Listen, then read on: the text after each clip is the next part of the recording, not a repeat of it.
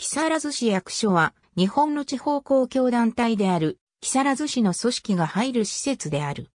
木更津市役所1972年、塩見一丁目に市庁舎が完成し40年近く使用されてきたが、後述の耐震強度の問題により解体され、2015年に駅前庁舎と朝日庁舎の仮庁舎に移転している。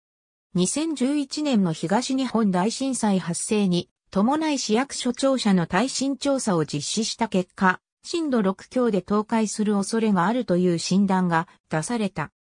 そのため、現庁舎の改修か、新庁舎の建設の両面で検討した結果、新庁舎建設の方針が決定し、2016年秋、会長を目標に2014年4月に入札を実施したが、2020年に開催される東京オリンピック建設による建設費高騰などの影響により入札業者が現れなかった。その際、プレハブ小屋を仮設庁舎とする報道がなされたが、実施されることはなく、現行案、縮小案、先送り案の3案を提示し、コストの面などから先送り案に決定した。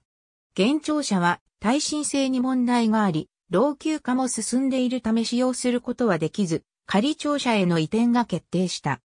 仮庁舎案としては、現在地に軽量鉄骨を作る案と民間施設利用の2案が提案され、コストの面や移転の速さなどに鑑み、アクア木更津及びイオンタウン、木更津朝日の民間施設に施設を利用する方針に決定した。2015年9月24日以降、駅前庁舎と朝日庁舎の2庁舎体制となっている。